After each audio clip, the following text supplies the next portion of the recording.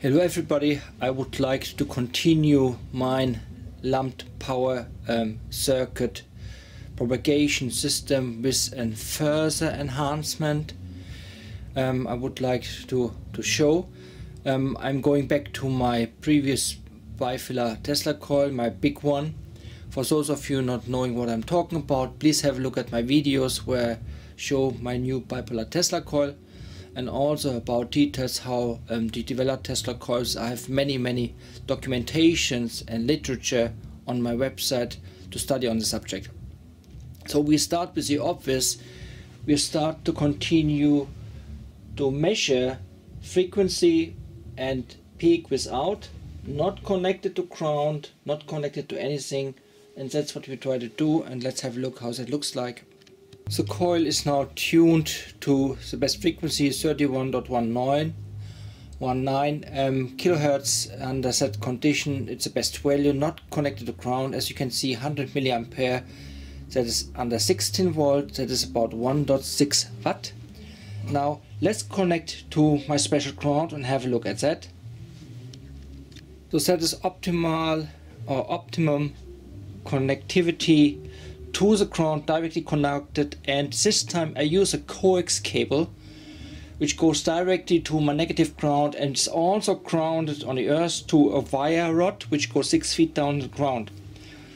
Um, we have frequency now 31.19 it's um, the same. It's only a slight change which needs to be adapted. That's good. However as you can see current is four times higher it draws up. However, as you can see now we have a very very clean signal here because all the ripple fields are are filtered out by the earth connectivity. And from I went up from 2 kilo kilovolt 2.5 to up to 7.5 kilovolt.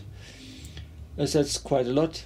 However now let's have a look if we can utilize this energy in a different way. We continue I um, want to show you a couple of different changes. So we do it for test purpose here. We have the earth connected directly um, to the ground here, which goes then to a coax cable here on the floor. And then again in my capacitor. And now this is a new setup. I want to show you. I use two diodes. This is industry, industry standard and I will show you diodes which are on the market already available. So you have literally in an element you have two diodes going in opposite directions, one connectivity in and two connectivity out if you want. However, in my scenario, I use both diodes going in and out into the same interface of my coil. Here you see the arrangement, you see the capacitor. This is a 2.1 kilovolt 0.85 um, microfarad and I have um, very easily available 100 nanosecond um, um, 20 kilovolt diodes here I'm using. They're rated about 150 milliampere. Uh, so I connect here also my DMM and connect here also across and I will show it in the diagram across um, negative ground and positive I connect um, so oscilloscope probe um, just for information on um, the first side to measure, it's a dangerous part if you do so. The reason being is not only because of the high voltage, but because of the influence it has to your complete tuning of the system. You have really make sure to isolate it. Either you measure with a coil in a distance, actually the rest is the RF frequency, and measure so the peak, you can do that, or you have to hear my example. I use a 1 mega ohm um, resistor in between um, just to isolate it even further. Otherwise it influences your complete measurement and you get false readings. You have to be very careful. Okay now let's have a look how that looks like. Now still the earth connected to uh, the lower side of the bipolar Tesla coil I went of course have to go down quite a lot with the voltage. Let's go down. Let's say we go down to 6 volt, 6.4 volt, 6.5 volt. I have now my DMM activated here the DMM is activated for insert so that is equivalent here this one is connected directly now to my um, coil system and this one is showing this one as well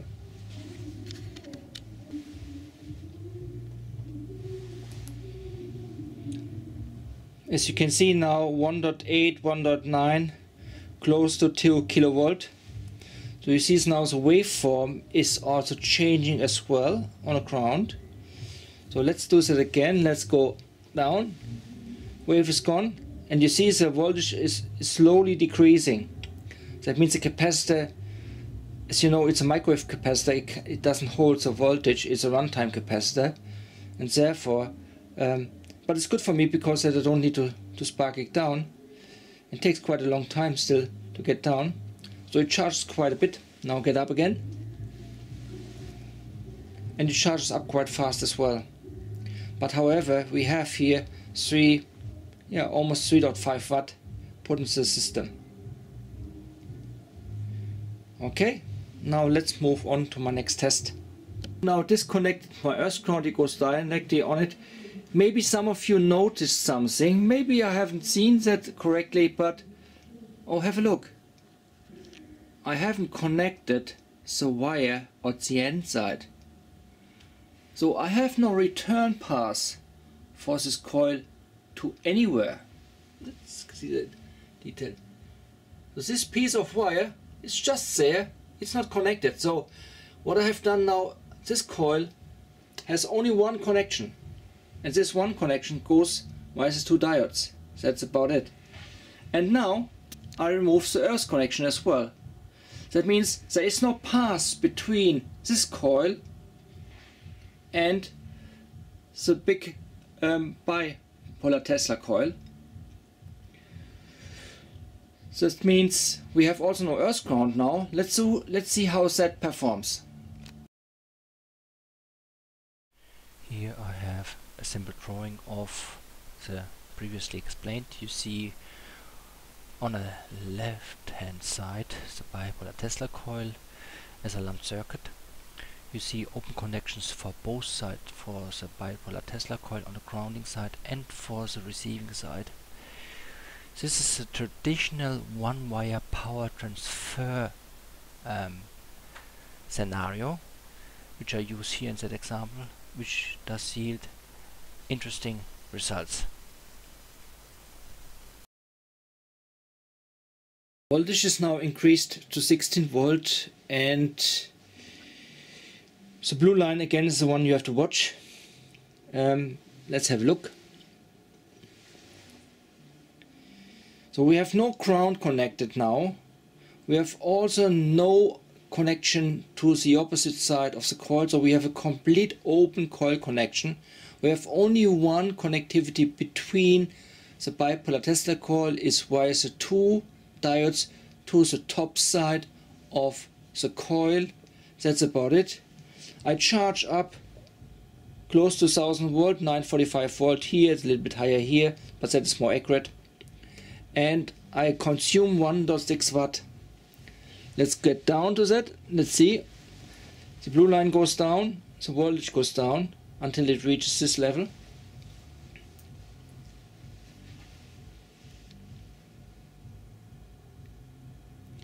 It takes quite some time before it's completely down. So the DMM shows a little bit more. And this goes down. This one stays at that level. Probably have to adjust it. Make it a little bit more sensitive.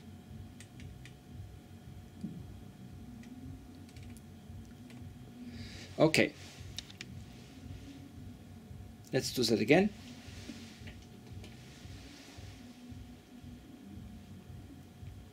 It's fairly fast up, I would say. I can measure that exactly how fast it's actually charging. Let's get down again.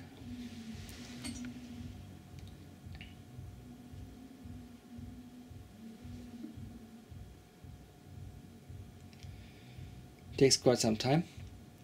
Now what's going to happen if we now add a second set of coil? Does it has any influence? Will the charge will be reduced what's going to happen? Let's have a look. So this is my second set of coil. It's also uh, 20 centimeter long ferrite.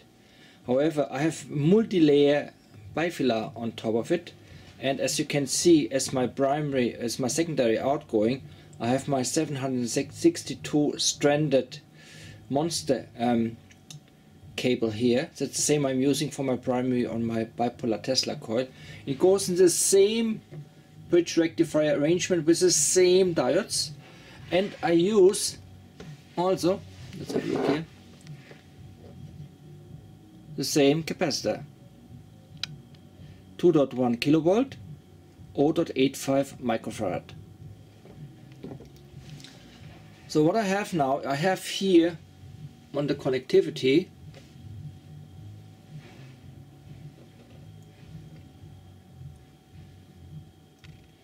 So what I have now here on the connectivity you see I have now both coils connected only one side and the rest of the other side, this one, not connected anywhere, just open. And the other one on the other side, not connected anywhere. So I have now two coils in parallel, only on one side connected, and both are charging a capacitor. Let's have a look how that performs. Please remember to pay attention to the blue and the pink line how they work together. Both in an instant up there up to 900 volt, 1000 volt.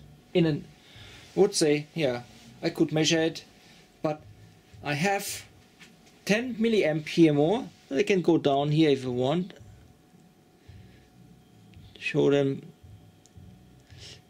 It's 110 milliampere, 10 milliampere more but I have twice the amount 967 973 let me toggle that 952 on one side charged and 973 on the pink side 973 is the new coil I did show you only about 20 volt more for a tremendous amount of more work double double um, layer bifilar and monster cable compared to the first coil which was only a single layer bifilar and only a, a, a single um, 18 gauge um, secondary coil which is much much cheaper and easier to produce and I'm sure other combinations will be very very useful but if you take that as an example for those of you who can imagine what's going to happen, add more and more coils and that is your solution and you will break your COP of 1 very easily. Thank you very much. Until the next time.